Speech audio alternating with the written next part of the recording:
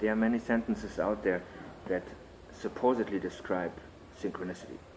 But how can you describe something when words are only attempts to get at the root of things?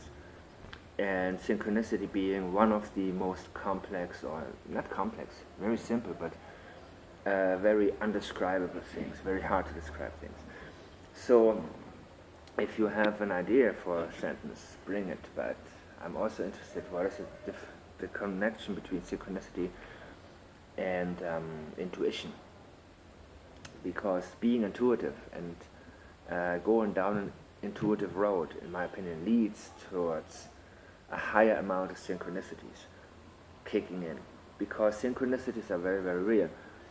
And of course, we don't necessarily understand them. We don't know where everything is coming from because what it really is is somebody is picking up on an energy that was set into place by you or somebody close to you or somebody who knows. it, is all connected. But how exactly it kicks in, we may be led towards the understanding if we allow ourselves to be intuitive enough to go down this road. But not necessarily will it happen.